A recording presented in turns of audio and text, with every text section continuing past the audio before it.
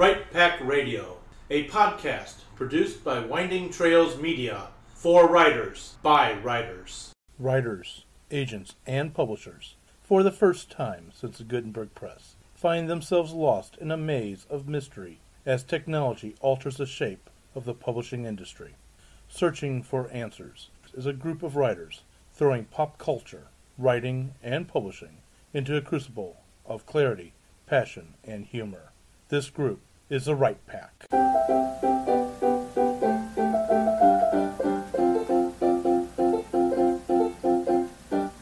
Welcome back to Write Pack Radio. This is your host and producer, David Alan Lucas. Writing crazy stuff lately, and president of St. Louis Writers Guild, president of Winding Trails Media, and host of this crazy show. And with me today is my beautiful co host. Hi, I'm Kathleen Kayembe. I write paranormal romance under the pen name Kaseka Nvita. I run uh, Amorous Writers and Artists writing groups, and um, I have stories forthcoming from Lightspeed and Nightmare magazines. Yay! Oh, and I forgot to mention, before I turn this over to the next person, is come out to the St. Louis Public Library Central Branch on November 26th at 2 o'clock. I am going to be talking about story structure For NaNoWriMo, for NaNoWriMo. And with Very us talented also, Nano. I guess we'll start here.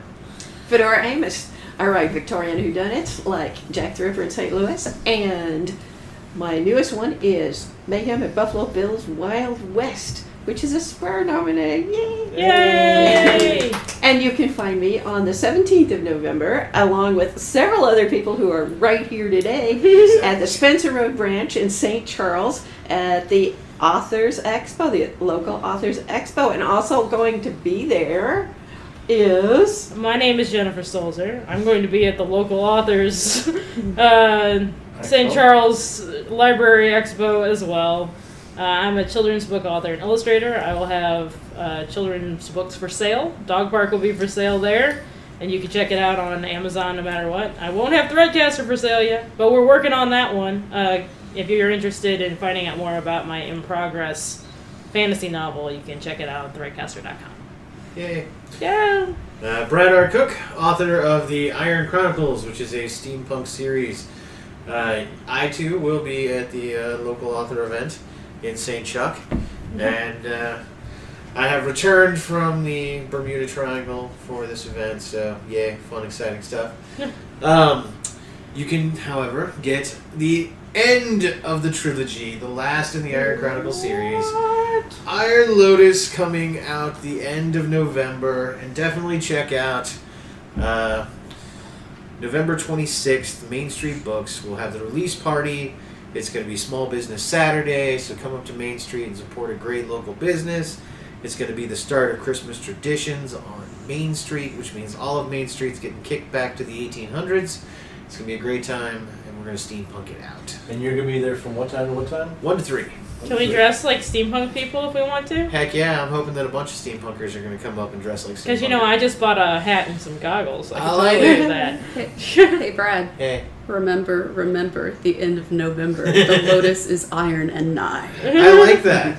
Okay, and also Considering we just had Guy Fawkes Day. Hmm? Very fitting. Um, my name is George Sirois. I write uh, write science fiction for the young adult reader, including Excelsior, which is available on ebook, paperback, and audiobook, narrated by myself, and the five-part serial from Parts Unknown, available on ebook only. And hopefully, by the time you hear this, I will have finally finished and taken into account all of my notes from my editor for Ever Upward, Part Two of the Excelsior Journey. I'm also vice president of the Missouri Writers Guild, so I hope to see you at our annual conference, May 5th through 7th. Go to Yeah. MissouriWritersGuild.org for more details. And I'm Melanie Lucas. Um, Still squealing a little bit about that. yeah. Hey, I get to do this for at least like- a month. Okay, you can't, you can't. Melanie's like, ah, this is my life, okay? I know already. But every week, I get to be reminded of this adorableness. Uh-huh. Um, I don't. I, I haven't actually written anything that was, you know, fiction, but I do write uh, sci-fi and fantasy, and maybe at some point in the near future, I'll get back to that. I hope you do. You, all- you have been published in well, the scribe, but. No, I was referring the other the other side. By the way, check out the Scribe. Which Yeah. Is, uh, Well, was on the Sailor Sailor Writers Writers Guild Guild Literary Literary Magazine. Magazine. Yes. Okay, well, yes, under a different name. I, I have some non, I have some nonfiction writing You should, published. you should Yes. uh, you own It- that. It's claim still it, yours. Yes. I mean, you are the scientist in the group here. Okay. Bring your expertise. Okay, real quick, because George threw out the Missouri Writers Guild Conference. Go for it. And that's awesome. Uh, totally going to throw out Gateway Con. Uh, you can now register for both the Writers uh, Conference side and if you would like to get a table in the Author Hall in the Readers Convention side. Check it out at stlouiswritersguild.org. Excellent. And today we're going to talk about interpreting the world through story. What is this? It- Yeah, this is an interpretive What- It's dance. like, what is this? What is this? Don't we all write in the same world? Um, Fedora, you write not. You write fiction set in a historical time. You've got to be historically accurate. Brad, while you do steampunk, you're technically it's a different world. I write historical fantasy. See, write Historical fantasy it's a completely different world. I mean, how would you ever interpret a, the world you live in through the stories you write? And what about other science fiction? What about Star Wars, Star Trek? What about um, what about Hercule Poirot with fiction, westerns, historical romances? Well, Star Wars is real because it takes place in a galaxy far, far away, a long time ago. So it's the past somewhere in the distance. It's a historical I was waiting for document. that. It was found in a cave somewhere. Yes, aliens. Okay, but in all in all honesty, how the wor- sto- worlds that we create for our stories, how are they? How are they interpretation, or do you interpret the world around you, or Well, what are your thoughts? You definitely can. You definitely can. You can't help but have your eyes open and see like everything around you unfolding. One of the, you know, like um, Brad, you just uh, you guys had just mentioned Star Wars. Star, you know, like a big part of Star Wars, the um, the real. Um, I'm trying to. I'm blanking on what I was about to say. Inspiration. there it is. That wonderful word, inspiration. A big part of that was the Vietnam War and what was unfolding because of that. Because George Lucas, being being the hippie that he was, you know, like at that time, was very much, you know, like very much against the Vietnam War and looked at um, looked at the larger go- uh, governmental bodies as the empire. You know, so it was basically using that and running with it and making it your own.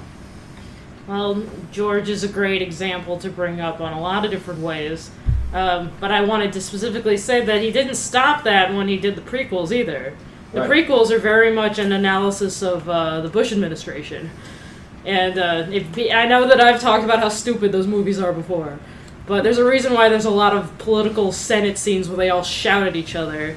He included that because he considered the the rise of the empire, you know, striking, making wars uh, in foreign soil, and just for the sake of gaining power. That was what he was interpreting out of uh, So the world that he was in. But at the same at the same time, though, the you know episode one came out in '99 during the Clinton administration. Mm-hmm. So there was like you know there were definitely some seeds of the Bush administration dropped in, especially Anakin's line, "If you are not with me, you are my enemy." Yes. Like that's purely. and uh, this is how freedom dies in thunderous applause. yep. All right, that was just my bit. I just Okay. wanted to say I liked your example. Okay. What I was going to say is that um, I think the only people who are writing truly the world around them are journalists. Uh, they're writing nonfiction. They're writing very factual stuff. I think the rest of us are interpreting what we see. Um, if Well, they're interpreting are, what they see too. They're Well, trying desperately not to, but they are. okay, maybe some journalists. Let's, let's, let's caveat that. Okay. Uh, but I would say that like if you are writing a contemporary novel and you're setting it's a thriller or something like that, like you know any of your Jack Ryan novels or anything like that that, that comes across as you know as modern day, or if you're writing Eat, Pray, Love, Mm-hmm. you know, set in today's day, I still think you're interpreting the world around you. Um, obviously, I interpret the world to a greater extent than others because I write fantasy.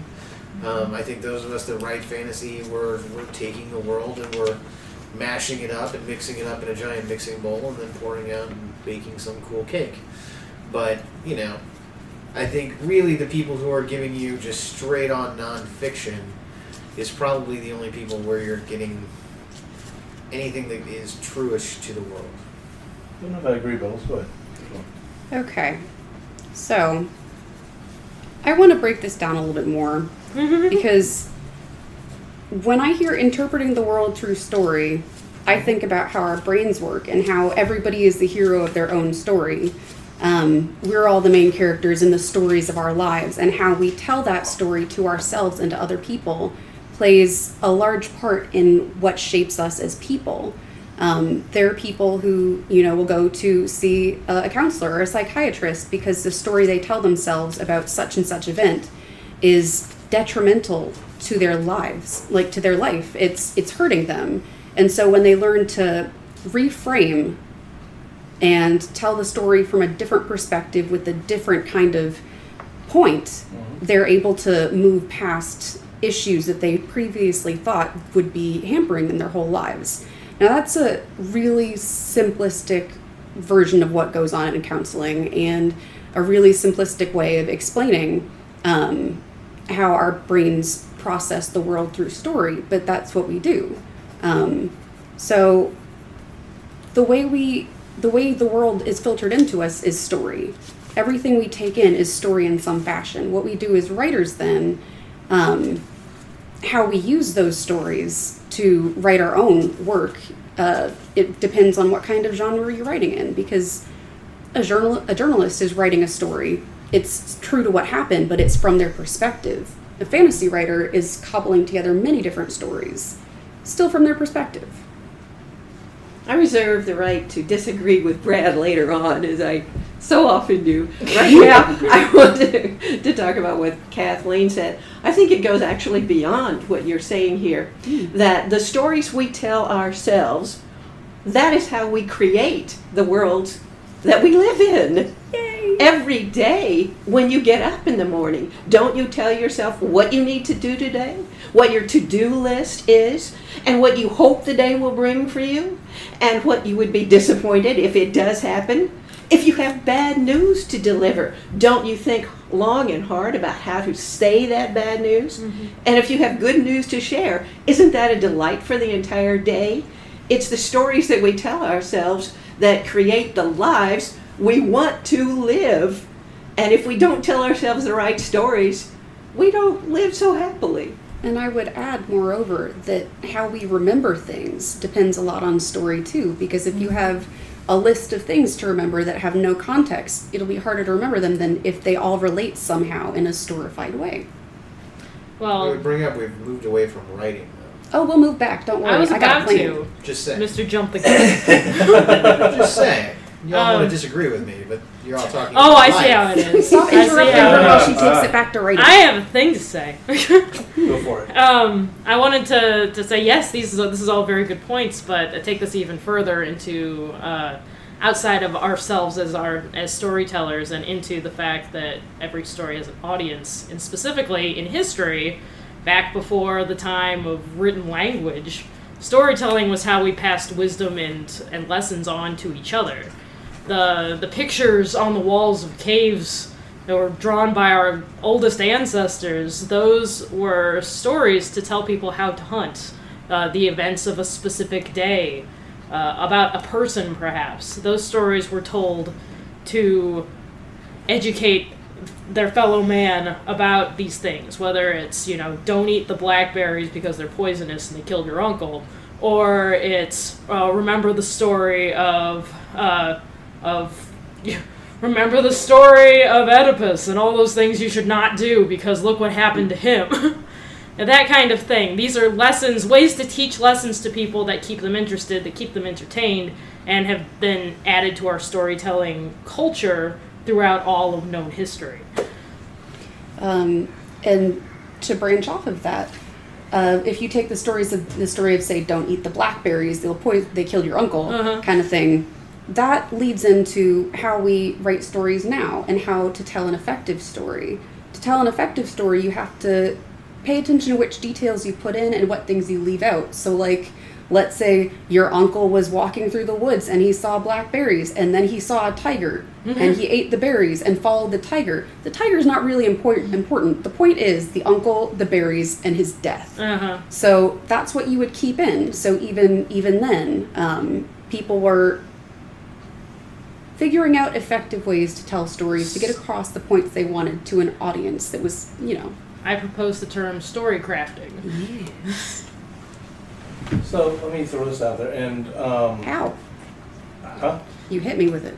Well, that was the You're aim. being you're being so so aloof and philosophical in this. It's See? getting a little abstract. She's going new journalism over, on me over there, not journalism. anyway, sorry, I was going back to Brad's comments earlier. Awesome, I have hit Um, but we'll talk about that later. Um, I'm going to actually ask a few people around the table some questions, and I'm purposely picking that picking you because you don't write modern day stories, stories told today, as in this story takes place in 2016, wherever on the earth. So no contemporary settings. No contemporary settings.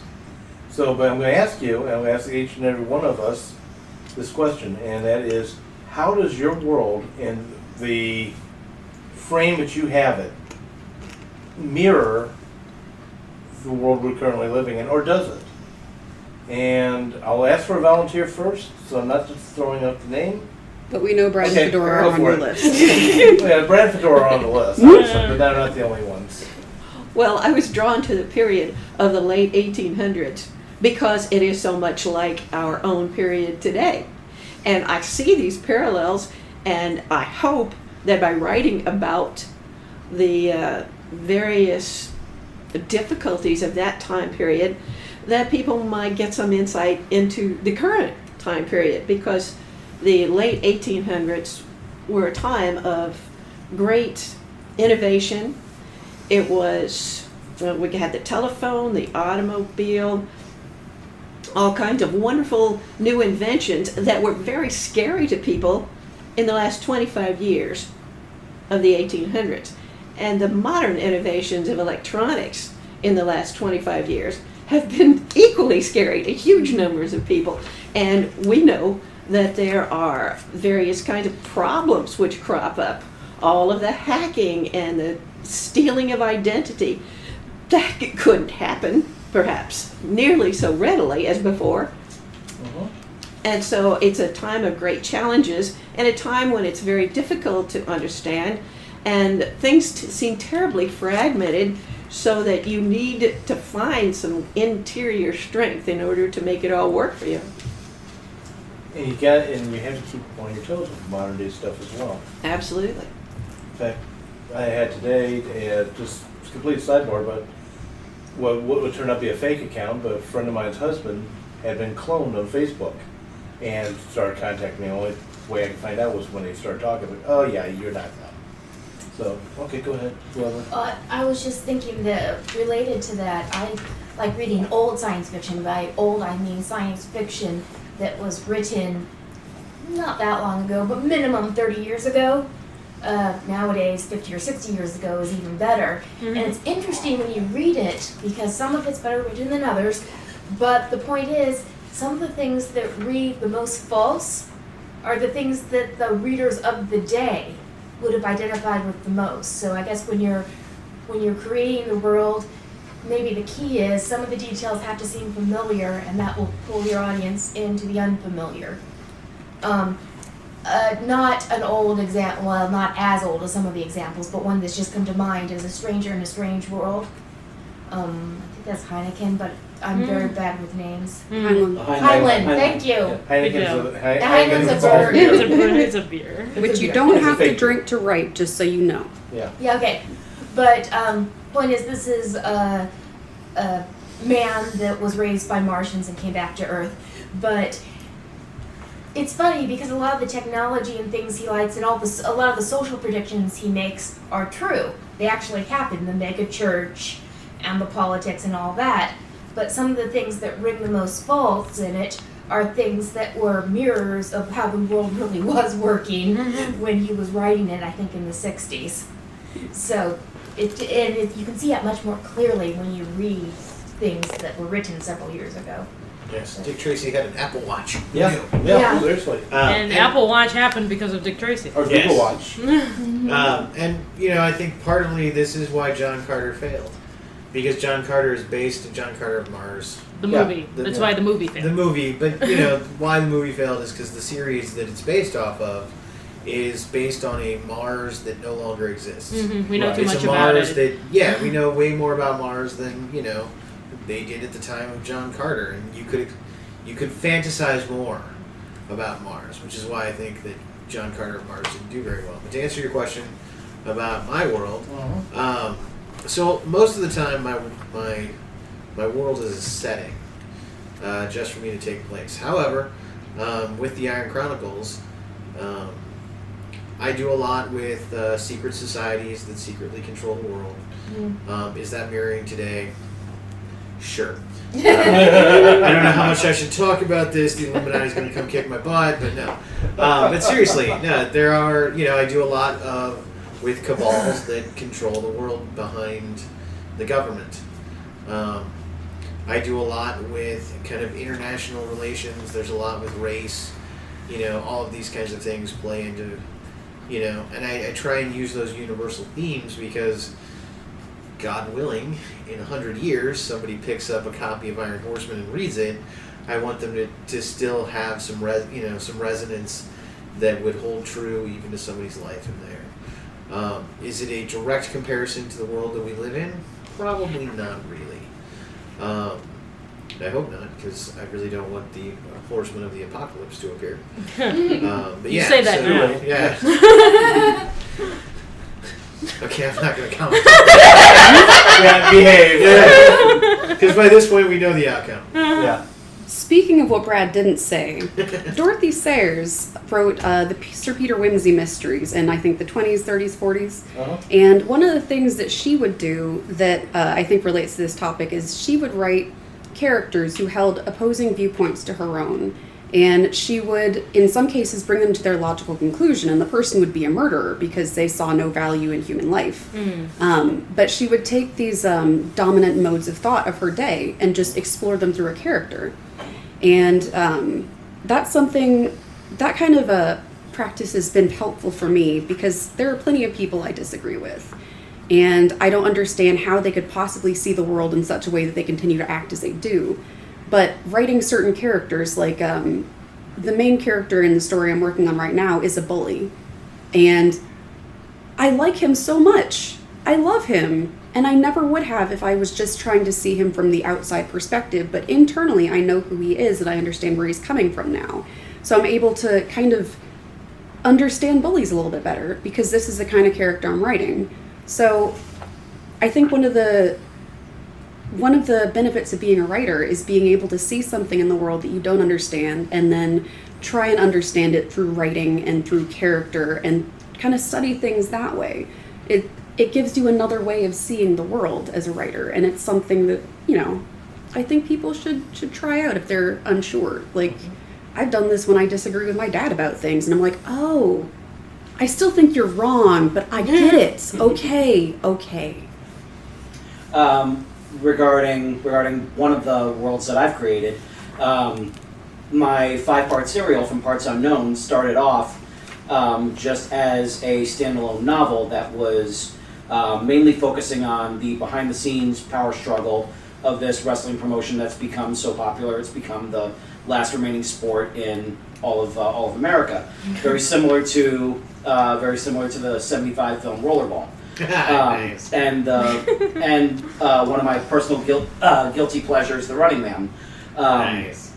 So, but um, but in the nine years that happened since the original publication in 2002 and starting the now 550 page serial in 2011, I kept an eye on the world around me, and I noticed that uh, that the American people were getting uh, more and more caught up in reality TV to the point where a non-presidential election year election uh, would actually get less uh, less uh, interaction than a typical American Idol uh, call-in. Hmm. So it became very, um, very scary in a sense because I knew that you know like when um, I believed that you know and still do that you know like if the American people become more and more and more apathetic, then those who are not will gain more and more and more power, and that to me felt like it was worthy to kind of wean into weave into this story of from parts unknown. So now it's become like a major element of that because uh, what the what my uh, promotion is being used at used as by the government is a tool of distraction. So that they can go about their business while keeping the american people entertained. And so that to me was just like that was a matter of me just looking around and seeing how the world was going for the last nine years at that point. Bread and circus. There's Yeah. nothing to see here. Exactly. Move along. Fedora. Yes. Move Fedora. Oh. What if? That is the basis of most fiction, I think. What if things were different, or what if things are the way that I'm seeing them?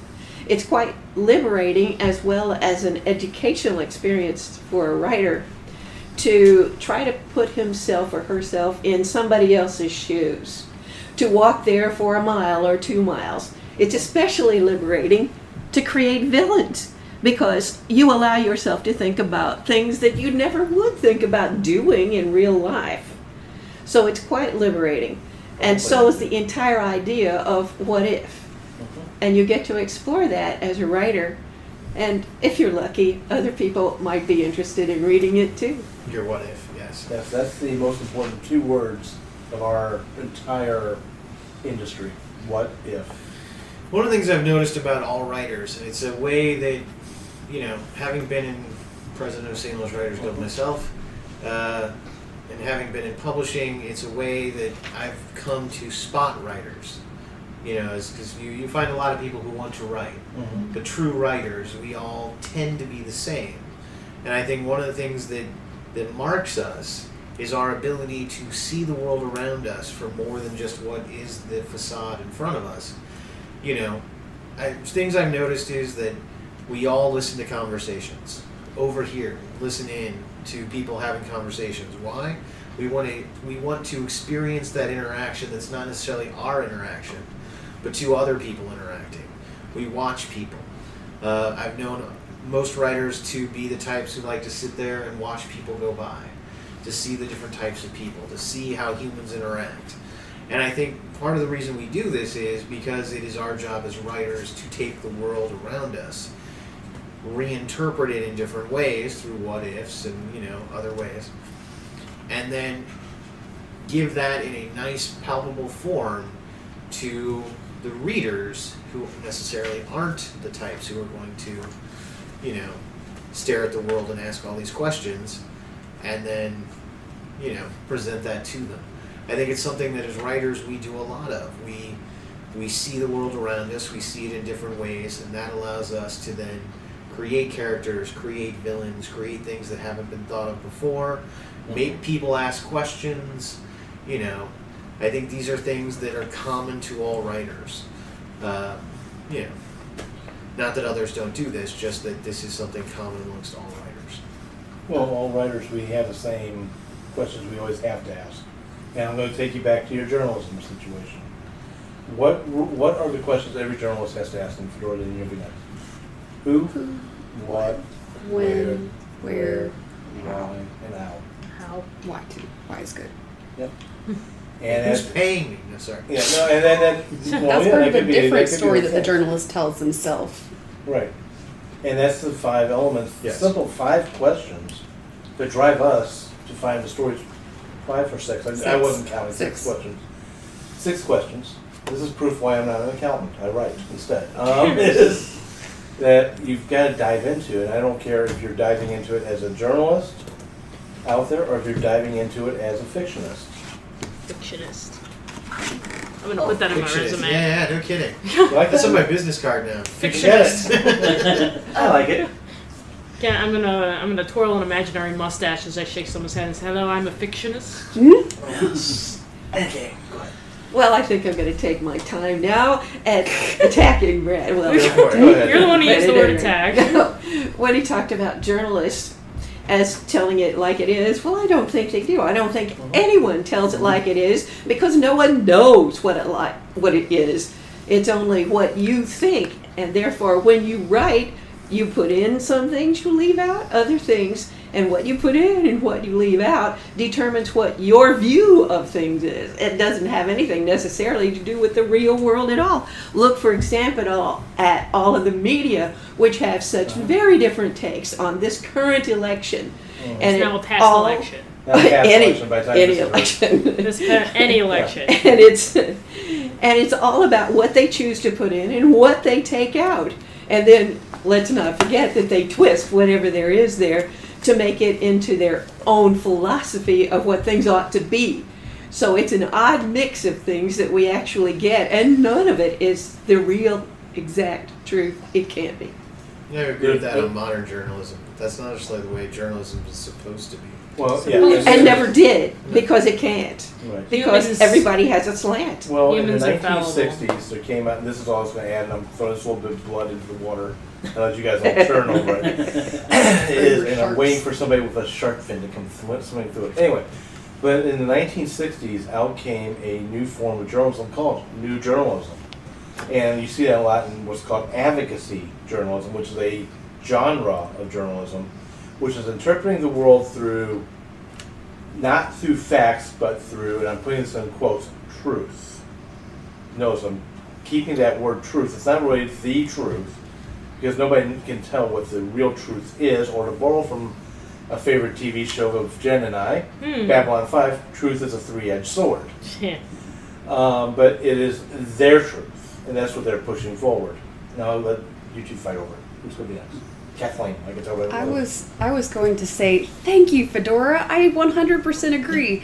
Um, the problem with telling the story of an event um, for journalists and for anyone who has ever been at an event or experienced an event Anyone who's ever been at an who's event, any event at all. is that you're seeing and experiencing this thing through your own point of view, which means all of the experiences you have had in your life are part of what make you as a person and part of what um, what determines your perception of what happens.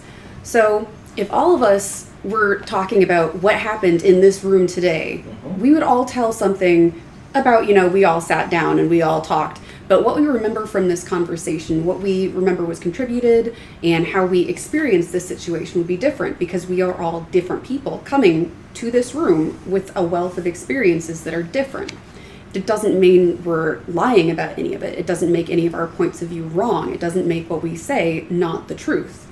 But everyone experiences the world differently. And so the truth for everyone is going to come out a little bit differently.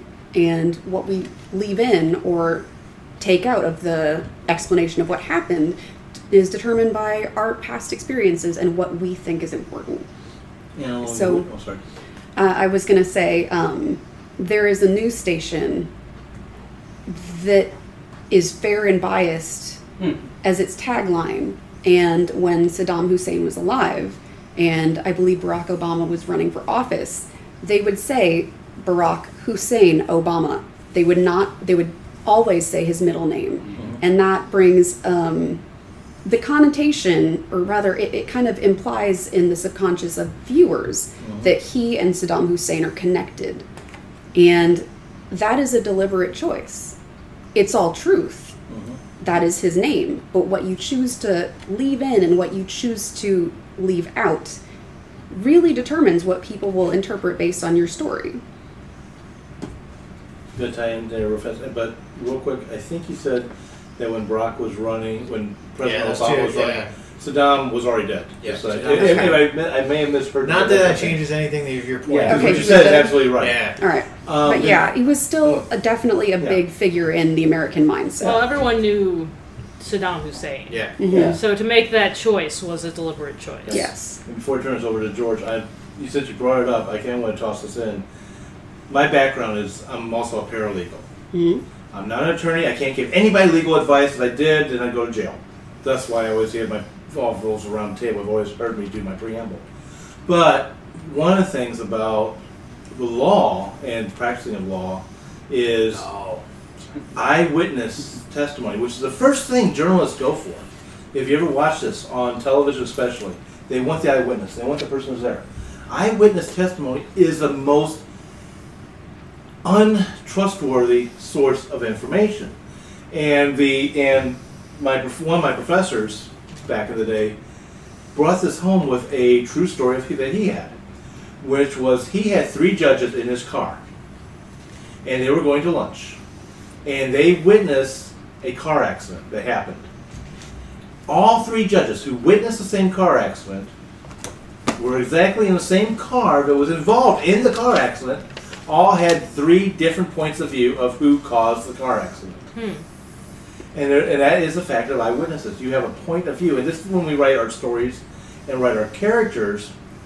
All characters have a different point of view from each other, even if they happen to totally agree with each other. Let's say Fedora and I totally agree on something. She's going to have a different point of view than I do, even though we've got crossover. But, Um, just a just a couple of quick things to add to that um, particular network that uh, the Kath, that Kathleen mentioned. One of my favorite examples of their quote unquote journalism was um, in uh, 2007 or 2008 when um, no t- uh, 2006 actually when Scooter Libby was the only person who was convicted of the of the whole uh, case of the outing of the CIA agent Valerie Plame. yeah. Uh, she, uh, Scooter was convicted on four out of five charges. Um, don't don't quote me on which ones they were, but Fox News made sure. Oh, there I am mentioning them. Sorry. Um, they made sure to put down on their bottom ticker, Scooter Libby found not guilty of this charge, Yeah. and that's all they said. Um, so to add on to what uh, Fedora had said, basically, like what uh, what journalism has become these days is the world's largest game and most infuriating game of telephone. Right. Uh, because you're basically like, what- you know, you have the actual incident, and then one person goes ahead and reports on it, and then they go ahead, and then that information gets fed onto another source, and regarding whether which way they slant, in terms of which way they are, and you know, like the left wing or right wing, they're going to interpret it this way. The right wing one is going to interpret it this way, and so on and so on and so on. And what we have right now, the main problem is that we don't have any, we barely have any more any actual grounding of the reality of it all. So right now, you basically have so many people that have been told that the mainstream media is lying to you about everything. So no one can even agree that the sky is blue anymore, and that is that right now is is the is the main problem. And This rumors- ad sure has- Rumors have become facts. Well, Yes. this is clearly shown by the what color is the dress. Yes. Yeah. Yes. And I kind of want to bring us back Well, here. yeah. bring us back real fast, but I want to say, what, just because we just tossed out Fox News, there are MSNBC is just as guilty, and there's also a lot of other ones on both sides of the aisle that you just they, they there's just no reality to the wizard. NPR tries to do a good NPR job. does- Hold on, okay, NPR does- I'm going to throw out I'm a saying defense of both sides. I'm journalism because we're not NPR. talking about journalism. We're talking about partisan journalism. We're talking about entertainment journalism. Well, actually, this Yes. is what I want to get back to. we're We're talking actually talking about about how we interpret the world. Well, Yeah, I know, gonna let him finish that, My, and my then I point will is, bring is it that we're not actually talking about journalism. We're talking about entertainment journalism and partisan journalism, which are two Right. very different things from what is classic journalism or what is, you know, you mentioned classic. Which is NPR. really hard to find. Yeah, you classic mentioned journalism. NPR and you've got Yeah. the AP, you know. and BBC. That's about. Yeah, yeah. Not BBC 's BBC even. even. No. So, Because so you've got the AP and NPR are probably your two biggest sources. There are others, Mhm. but there are people out there, and if you notice, their stories are short. Mhm. It is a couple of paragraphs. It is They are not happened. stories, really. They're just facts. Yeah, Yeah. just the facts, throwing it out, and then it's left to others to interpret. You know, that's where you're going to get the truest sense of any event. Mhm. Or NPR to tries out- to give equal time to both sides. But both CNN and Fox, to, to put the two you know MSNBC. sides up there, um, you know, half of their day is devoted to entertainment, not Yeah. news programs. Right. Agreed. so so now that we've had the journalism talk, I want to. I want to dovetail off of that and twist it back toward the writing. Yay! Um, That's me clapping. for what we've co-host. what Brad has pointed out with partisan uh, partisan news stories and news being called stories nowadays anyway is that Um, they're being told so that a certain interpretation of the in- events is what is communicated to the audience. Right. And um, what we as writers do is we take characters and we take events and we tell them at a slant so that our audience, our readers, will see them from the perspective that we want them to see uh, the events or the character from. So in the story where I'm writing a bully, um, he's one of the, the heroes of the story. He's somebody that I want the audience to sympathize with, not at first, but then to come to understand. And that means I have to bring out certain aspects of his personality at first that are more horrible and show him as a bad person. And then through the course of the story, I have to show more of his internal life and display him trying to be a good person so that the audience will sympathize with him. Um, in Nancy Kress's book, Beginnings, Middles, and Ends, she says that in the, the first paragraph, the first page, the first chapter, by that point, the reader will have an idea of how they're supposed to feel about your main characters. So they'll know if they should be sympathizing with them, if they should be kind of observing them but not really empathizing, um, and if you know they should dislike this person. As Fedora and I were talking about villains. So how you write, what you bring in, what you leave out is again really important for how the audience will experience what you're writing. So how do we do things like that? Like how do we how do we allow an audience to get into his perspective and to see the story that we're writing from a certain point of view that you know they wouldn't necessarily agree with how do we Gently. gently Very gently. Softly, softly, catchy monkey. What? what? Unpack that one for me, will you? You've never heard that? Okay. No. I- I- heard that's that the first I've heard it. You, you take little bitty steps along the way. Don't blast them with it on the first page. You have to lead them into it. Well, it's time for me to step on my character soapbox because everything, as far as I'm concerned, comes down to character. Yes. Uh, you pick the character you want your story told from the point of view of, and that your the rest of the world is interpreted through that character's point of view.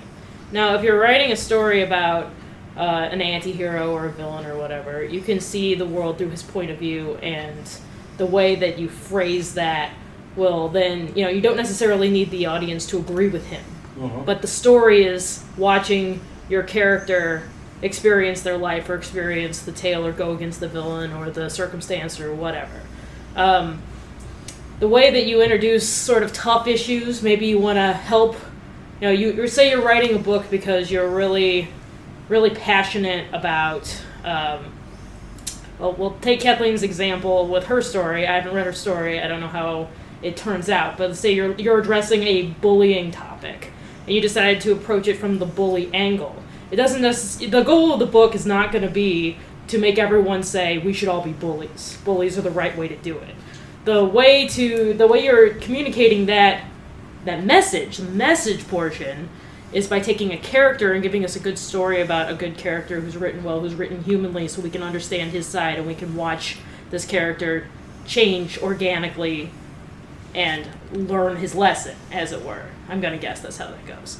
This is different from writing a message book. Yes. when you're writing a book specifically for the message and not to explore something. When you're exploring a character, exploring a topic, that gives us room, us being the audience, uh, room to to get to know somebody and understand something that we hadn't previously understood. Uh, when you're telling a message story and everything is always driving the message in and we're not allowed to have a character, uh, then the audience can't connect and doesn't and learns less because it's more of a textbook or a lecture.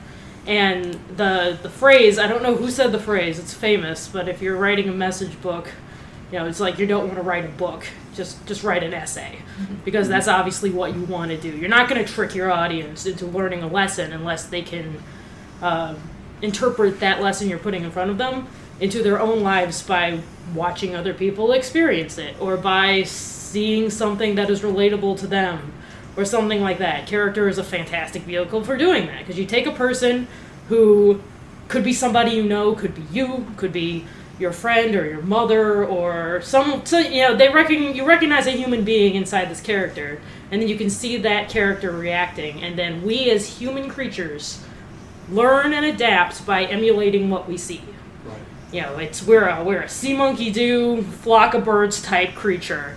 That when the whole group is deciding that you know we think that we should all go over here.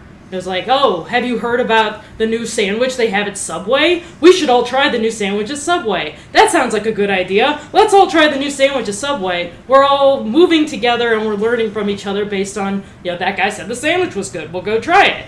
If we were completely separate from character, if we were completely separate from story, then we shouldn't care what that guy said about that sandwich. That shouldn't intrigue us. Uh, we should just experience that. So, message story versus character. Character is a great vehicle to teach a lesson. Don't teach the lesson before you tell a story. One one uh, genre that I feel that you know I'm pretty sure we can all you know kind of agree on that is able to combine all of that, combine the lesson and the and the you know and the story and the character and everything is science fiction Mm-hmm. because you can use science fiction as a vehicle for telling difficult stories. I'll while- add fantasy in there Yes. as yes, yes, in, in an entertaining fashion. And one of the great things that you can do is you can take your character, you can take your main character and take him on this, fan, him or her on this fantastical journey where they will discover something that you're really trying to kind of weave in. And one of the great examples for, you know, like in, in my opinion, is the original Planet of the Apes film Mhm. because it combines both. It combines the it combines the, the lesson with this with one of the greatest endings you'll ever see in any film, Mhm. um, and it also does it as Jen was saying through a character, through a character's point of view. You have Charlton Heston as astronaut George Taylor, Mhm. who is so disgusted with his world. Now, keep in mind, like in that particular world at that time when the film came out, it was 1968. What was going on? A whole lot of a whole lot of uh, um, dis, dis, uh, disarray going on. Yeah. You know, you had the Vietnam War escalating. You had you know Nixon coming into power, Johnson refusing to be into power. Kennedy was killed, was dead for only five years, Mhm. and so you have a whole lot of civil unrest going on. So who wouldn't want to just go ahead and leave that planet? Yeah. But then all of a sudden, you take him on this journey and realize where he was all along. It's just like this could be us. Hmm. this could wind, up, you know, this could wind up happening if we continue to go down down this path. So you know, like just to just to say that, like through science fiction and fantasy, you can tell these amazing stories and still be able to weave a re- uh, very valuable lesson into it. Because the memorable parts of Planet of the Apes are the parts, the character parts, the story parts, you Right. know, Yeah. Bright Eyes and, and all the slaving and everything Damn like that. Yeah. It's like we know that's the part we remember, but the thing that we learned, that we gleaned out of the story, was the, you know, you crazies, you all blew it up. Yep. Yep. Uh, I will also add to that that art, uh, anthropologists have now declared that modern apes are in the Stone Age due to their tool making abilities and all that. So Planet of the Apes may not be that far off. Yeah. Um, We have to I- set a good example. Exactly. um, one of the things I was going to say, not to kind of say anything about what you guys were doing, or about fantasy or sci-fi, because I completely agree. But there are message books out there, Mm. and the way that you can do this is by uh, having authenticity. Mm. Um, Cheryl Rainfield is an amazing author. She writes um, some amazing YA novels. Um, one of them is Scars. It is all. It's a book about cutting. Mm. Um, now, it's an amazing book, and if you read it or if you ever hear Cheryl talk about it, it will rip your heart out and stomp on it. And, you know, you know. Yeah. But the reason is, is that Cheryl will show you her scars, and she has no problems with that. And if you get to know Cheryl, uh, she's had a crazy life, and you know, I love that she's now, um, you know, an accomplished author, and you know, can talk about all this kind of stuff. But um, having that level of authenticity drives that message home in a way that other books won't have an impact on. It doesn't feel as preachy as if you're being told about Exactly. something on the surface level. Exactly, and it's not it's not a biography. Cheryl's not telling you about her life. Mm-hmm. She's this is a character, a YA character who's you know having issues and everything like that. But because she has that level of intimacy, of knowledge with the subject matter, it it comes across in a way that really is just wrenching. I mean, it just it's soul wrenching. I have to follow that. I'm sorry. Um, I was gonna bring up representation because we're talking a bit about message books and message characters, which are awful. Um, and how we see the world has a lot to do with like how we envision the world ourselves and the world that we could live in has a lot to do with what we see in the stories that we take in. So um, there there are studies that have been done um, about like kids of different races who watch cartoons on TV and then are asked what they think they can grow up to be, and um, uh, little white boys would think, you know, I can be president. And until Barack Obama was president, and actors like I think Morgan Freeman maybe were presidents in movies, mm-hmm. they never would say something like "I can be president" because there was no no story that they were taking in where they were a president. Like that's not something that's available to me. And a lot of kids were also had some racist ideas about you know what black people could and couldn't do because the cartoons they were watching only showed them in certain roles. Mm-hmm. It's the same thing with women. It's the same thing with other minorities. Like there's a big problem when the the overarching story that you're getting from culture in various in in all the different um, from all different sources are telling you the same story. So kids with asthma, if you've ever had asthma and watched a TV show or a movie with someone with asthma in it, you would think maybe I have asthma wrong because they're always like they're sucking on their inhaler Yes. all the time. That is not how that works. I haven't used my inhaler in the last five minutes. I'm going to die. but like the steroids are rotting out the lining of my lungs. But like, if somebody saw someone having an asthma attack, they'd be like, "Where's the inhaler? Puff, puff more, puff more." That's that's not responsible. That's not good storytelling. But the dominant story, no one has actually researched how asthma works. So And you don't need to have asthma to write realistic asthma. You just need to do the extra legwork that not having asthma requires, which is research, perhaps talking to somebody who has it, who deals with it. Uh, you can send Brad a letter. He likes to stand up for asthma I will uh, stand up for asthma sufferers. Um, so there, there's a little a little research to be done, but one of the things that we've talked about um, is that writing allows you to ask questions of the world that maybe not everybody does. Brad mentioned that earlier. One of the things that I think is our responsibility as writers is to question the stories that we are told through about ourselves and other people through our culture. Um, if we had lived in the 1950s, I wouldn't necessarily be in this room because I am a black woman and the rest of this group is white. I might not know many of these people. No, we're all a bunch Yeah, of I would beatniks. actually would still be counted as white. Okay. So, um, if no one had questioned whether always black people and white people, like why they had to be separate, we might be in an entirely different world. Mm-hmm. And if no one had questioned why only um, white Christian men were presidents, we might be in a different world. And we have a biracial president. He's a black president because of the stories we tell ourselves in America about what it is to be black versus white. But I will point out he is half white, and that is a story we as a culture are telling ourselves and telling each other um, that I think we should question. But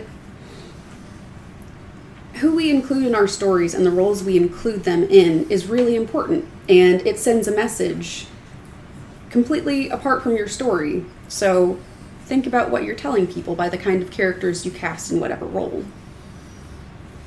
I think that what you're getting around to is that writers need the broadest possible kind of education, not just from books, but from real life. And so there are three traits that seem to me that are outstanding for writers to cultivate and develop. And the first one is to be a voracious reader. Read a lot. Read a lot of everything. Things that don't necessarily that you want to read, but that you think might be interesting, and by golly, you find they are interesting when you do read it. Second is curiosity. I think readers are curious about everything in the world and want to know about everything in the world. And finally, you've got to have the courage to go to places that you would not ordinarily go. You have to go to the theater in Madrid and listen to a play that's in Spanish and you don't speak Spanish, but you can observe an audience that is completely different from your own. So, have courage, read a lot, and be curious about everything. One of the scenes I love in the Avengers is Iron Man. And that was the interpretation of the cat. Yes. Of the cat. Um, You dropped yeah, the mic. it's the scene where uh, where Iron Man talks about having learned that thing over the course of the night. Um, as a writer, I can't tell you how many times I've done that. Mm. Had a question about something, wanted to learn something, read everything I could in a single night, and the next day I'm way more learned than I was the previous day. Um, it's a wonderful thing. It's something I love about being a writer, because as a writer, I'm constantly asking questions.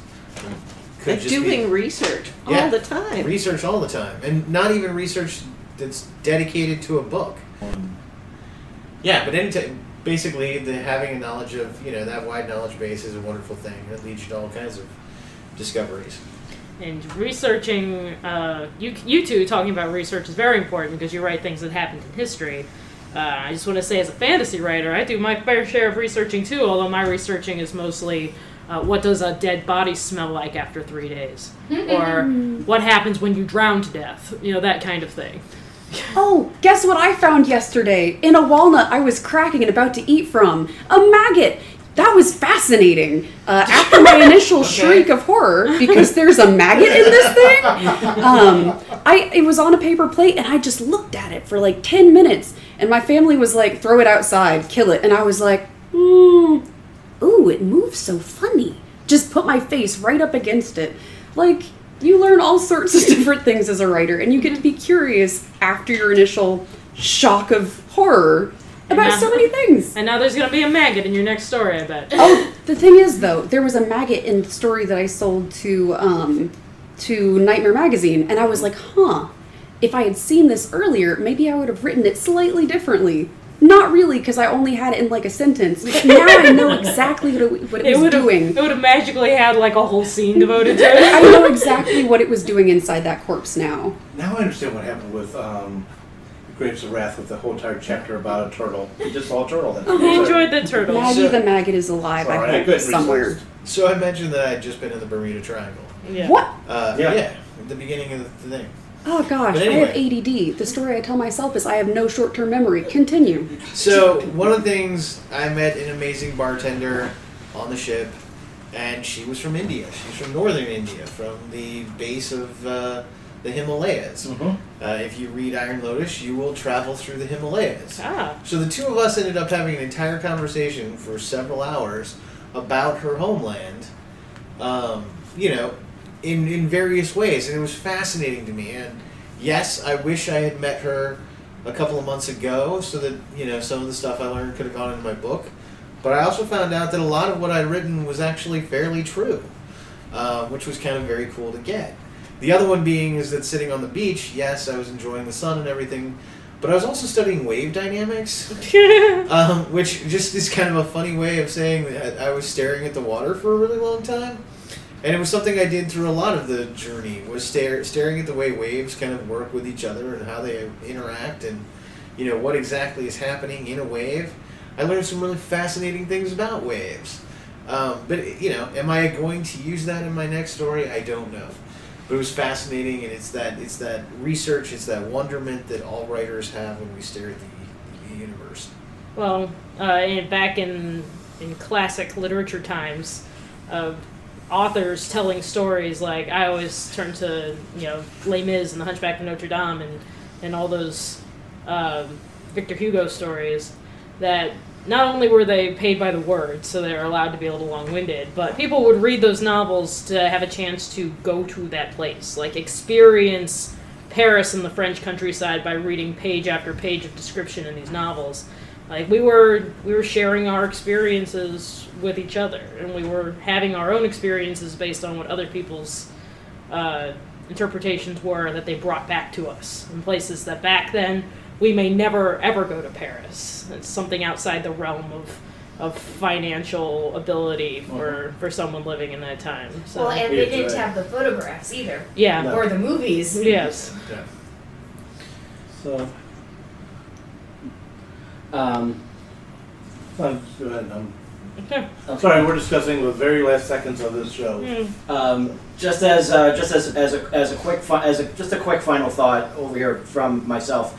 Um, when um, at the time of this recording, we are wrapping up one of the most polarizing, off-putting, and infuriating elections in modern day history. So, any t- any uh, discussion about journalism, media, anything that we have been discussing may have been a little bit tense for a little bit more tense from what you guys will be listening to um, a couple weeks, you know, like um, around the time of, uh, of this release. Let's only So I just hope. wanted to make sure that that's out there. So, you know, like we could either be completely wrong, completely right. We don't know yet. You know, like so we could either have absolutely nothing to worry about, or we'll have a lot to worry about later on in in life. So. But the way that we've interpreted our current environment is become evident in our recording today, talking about interpreting our environments through stories. Right. And on Yeah, that note, um, I'd like to add one more to Fedora's list. She said, one, read voraciously, two, be curious, three, be courageous, and I would add, like to add four,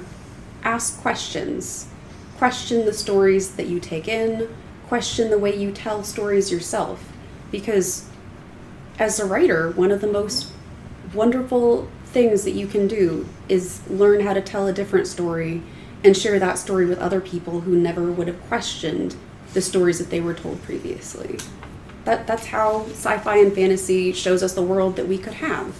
It asks questions and it allows people to see the world in a little differently. And on that note, Soylent Green is people. tune in next week for yet another interesting tale of the, of the writing industry. And have a great week writing. Gateway Con? What is GatewayCon? The Gateway to Publishing Conference and Convention, brought to you by St. Louis Writers Guild, is a new, unique experience for writers looking for their work to be either traditionally published, independently published, self-published, or to further their writing career. Coming in June 2017, GatewayCon will provide opportunities for writers to pitch their work to agents, hone their craft regardless if it is genre fiction or nonfiction, and obtain expert critiques. Get to meet vendors and experts who can help your writing get attention. And all writers get their work in front of their audience. Writers will get to network with agents, publishers, and others in your genre. Gateway to Publishing Conference and Convention will be in St. Louis, June 16th through the 18th, 2017. For more information, visit www.stlwritersguild.org or look for GatewayCon on Facebook, Twitter, Instagram, and Tumblr. GatewayCon, opening the gateway for writers to reach their readers. Did you know that Write Pack Radio has an international audience? How would you like to reach that audience in regards to your books, your book services, your author services, or more? Go to www.windingtrailsmedia.com and look under advertising for more information. If you don't have a script, that's not a problem. We will be happy to work with you. Once again, go to www.windingtrailsmedia.com for more information. The new theme songs for Write Pack Radio were written and performed by Meredith Tate. All copyrights remain with her.